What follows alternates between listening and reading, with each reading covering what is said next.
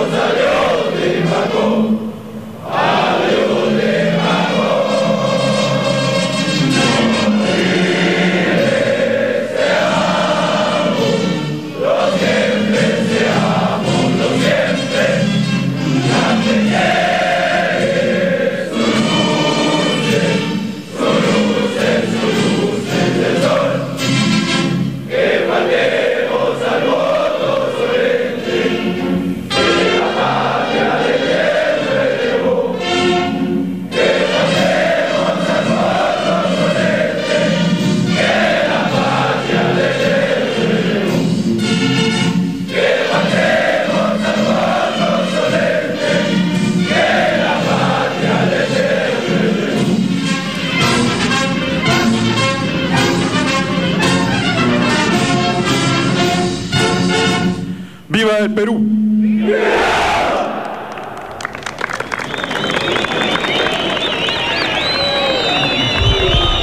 De esta manera, los eh, licenciados de las Fuerzas Armadas han entonado el himno nacional con bastante emoción. Continuemos con la ceremonia. Presentación del, del programa Beca 18, modalidad licenciados del Servicio Militar Voluntario, a cargo del viceministro de Gestión Institucional del Ministerio de Educación, doctor Fernando Bolaños Galdós.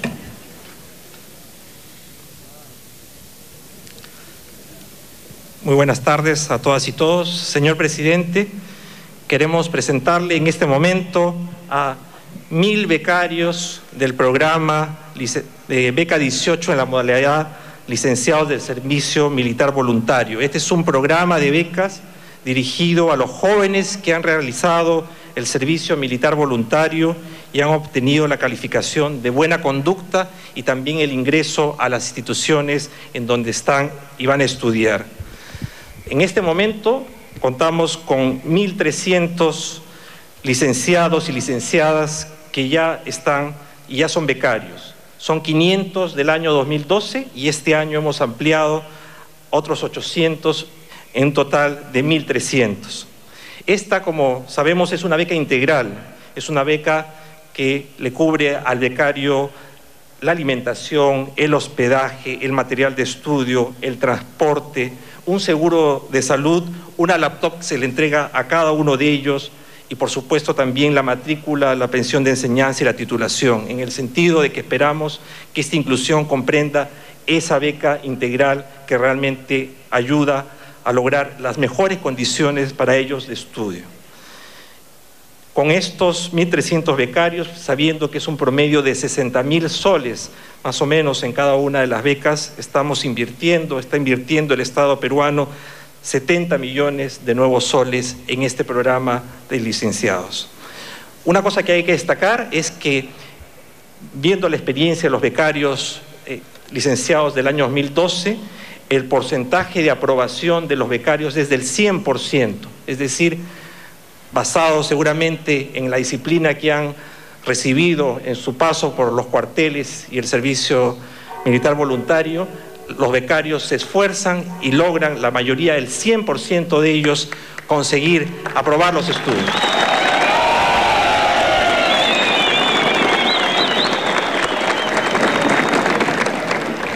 Señor presidente, aquí tenemos becarios que vienen de todas las regiones del país y creemos que con esto estamos contribuyendo también a la inclusión social porque tenemos becarios y becarias de Locumba, de Sicuani, de Satipo, de Cayoma, de Tayacaja y varios lugares del Braen, de Celendín, de todo el país. Y en las carreras que están realizando en las instituciones de Senatis, en SICO, donde están ellos, además estamos asegurando por la experiencia y la trayectoria de estas instituciones casi la totalidad de la empleabilidad, es decir, que estos becarios después de tres años realmente van a contribuir en la producción y en el trabajo de nuestro país.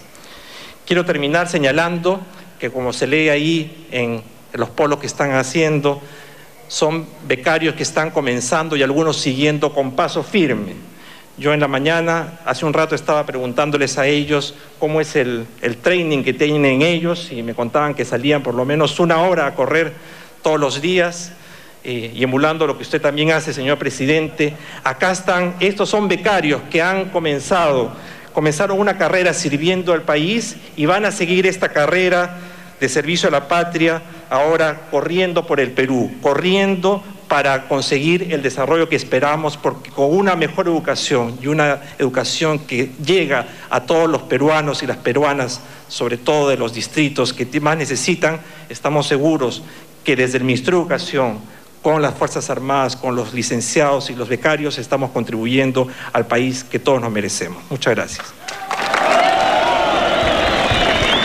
Han sido las palabras del viceministro de Gestión Institucional del Ministerio de Educación, quien ha manifestado que el programa Beca 18 está invirtiendo 70 millones de soles en este programa para los licenciados de las Fuerzas Armadas. A continuación, palabras del ministro de Defensa, Pedro Cateriano. Señor presidente de la República, jefe supremo de las Fuerzas Armadas, señor viceministro de Defensa, señor viceministro de Educación, señor jefe, señorita congresista de la República, señor jefe eh, del Comando Conjunto de las Fuerzas Armadas, señor comandante general del Ejército, señor comandante general de la Marina, señor comandante general de la Fuerza Aérea, oficiales, damas y caballeros licenciados. Es sumamente grato participar el día de hoy en esta sencilla pero significativa ceremonia. Se los digo de corazón, la política tiene aspectos muy duros en su quehacer, pero encuentros como este tonifican a uno, demuestran que hay futuro en el Perú. Por eso quiero que mis primeras palabras sean de un agradecimiento sincero. El servicio militar que ustedes han desarrollado en beneficio del Perú constituye un gran ejemplo para la juventud nacional, no solo por el valor de su decisión, que ha implicado temple, carácter, esfuerzo personal, sacrificio familiar. Cada uno en el rincón más apartado del Perú, lejos de su familia, ha podido tomar conciencia de nuestra difícil y compleja realidad nacional pero además se han dado cuenta de que todo es posible con el esfuerzo individual. Por esa razón, ustedes deben estar tranquilos con su conciencia y también orgullosos de que a través de, este, de esta labor sacrificada hayan dado un ejemplo a sus familiares y estoy absolutamente seguro un gozo a sus padres. La labor de las Fuerzas Armadas en muchos casos es incomprendida. Ustedes forman parte de ese grupo de peruanos que voluntariamente pueden dar a conocer las posibilidades que brinda el trabajo en las Fuerzas Armadas. No solo han forjado su disciplina, no solo se han entrenado en el quehacer militar, sino que se han convertido en ciudadanos de bien. Por esa razón, el gobierno del presidente Humala hace ese esfuerzo económico para que ustedes continúen en esa senda del bien, capacitándose, educándose, obteniendo una capacidad técnica que les permita desarrollarse profesionalmente más adelante. Eso algunos lo critican con vehemencia en el país. Y hay que aceptar esas críticas, porque forma parte del quehacer democrático. Pero ustedes son el testimonio viviente, el ejemplo gratificante que las cosas se pueden hacer bien. Y que cuando un gobierno apoya sin interés político, sino con vocación cívica y patriótica a los jóvenes, los jóvenes responden. Por esa razón, la presencia de ustedes debe también de servir de ejemplo al resto de jóvenes del país, a esos jóvenes que estamos convocando para que se sumen al esfuerzo de trabajar en un servicio militar en beneficio no de las Fuerzas Armadas, sino del Perú. Ustedes saben lo que significa el servicio militar. No solo la preparación castrense, significa también el trabajo solidario, la acción cívica, la ayuda al pueblo olvidado, la ayuda al herido, la cooperación a un pueblo que está alejado. Y han tomado conciencia de esa realidad. En un país como el nuestro, con tantas necesidades, la juventud no solo es el futuro, sino es la energía que hará posible un cambio que nos permita pasar a una etapa de desarrollo pleno.